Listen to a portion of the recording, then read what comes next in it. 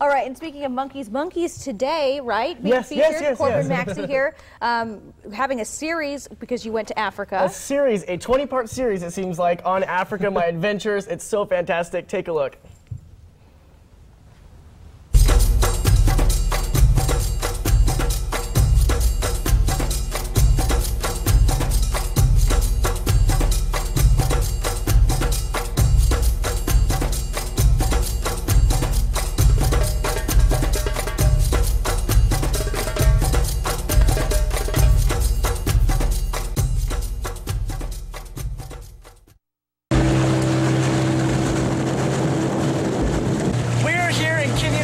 Naivasha looking for the fish eagle and also hippos. We have not seen one yet. It doesn't help that my eyesight is absolutely horrible.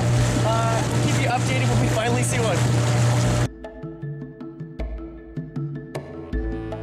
Okay, 10 hours later, finally found my favorite African animal, second only in weight to the uh, elephant as being Africa's heaviest mammal, the hippo. Very amphibious creature, although at night they'll venture out on the banks and they have these select trails and they'll go and graze. They really prefer those short grasses. Amazing, I'm waiting for one just to open their mouths. They stay in the water during the daytime to prevent sunburns.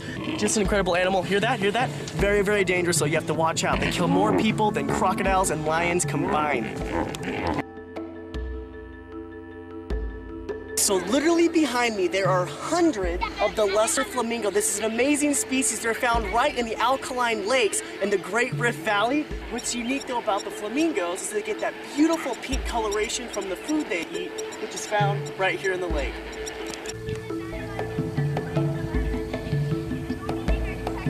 Okay, you were looking at one of Africa's most common primates, the black, the black-faced vervet monkeys, and you can see they're quite habituated to humans.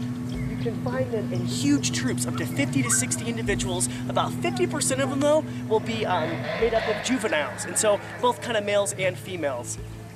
Just incredible animals living amongst the park here in Kenya. Okay, so right there up in the trees, look right there, look right there. That's the black and white colobus monkey. They're very common around here, kind of eastern Africa. What's unique though, unlike the black-faced vervet monkeys, is they spend a lot of their times in the trees. They very rarely will actually touch the ground. They live in troops, a male and several females, kind of anywhere from 3 to 12 individuals. Just an incredible monkey species here in Africa. Wow, and that's an incredible segment. Of course, the second one of many more to come. Now, a lot of people have been wondering, you know, uh, asking us here, how is it that you made it over there to Africa? You were there for quite a while. How did all, how did all that trip Yeah, work? well, you know, I mean, just like with all the television, you know, television segments, just there's so many people behind the scenes that you never see, and just like what you guys do. And so I have to give a special thanks to Dr. Munir Virani from the Peregrine Fund and Dr. Marc Bechard from Boise State University, who organized this trip. Because without them, it would not be possible. And they're all behind the scenes, and uh, you, you know, you really don't see them, but a lot of credit goes out to them. And that's how you made it over there and got to get And so that's up how I made it over there, and that's how I came back in one piece here for uh, and you love hippos. I love hippos, but at night they're so dangerous. They, I mean, they literally chop people in half, and I, I don't mean to be excited about that, but that, that that footage of the hippo outside was right outside the cabin, and you know, Wow. and you have to be escorted to your tent, um, you know, by special warriors, and anyway, so they're quite incredible, and they're really quiet, really surprisingly quiet. That's We can see why you're excited, Corbin. Yep, very very excited. All right, we're back right after this with a final look at the commute and the forecast.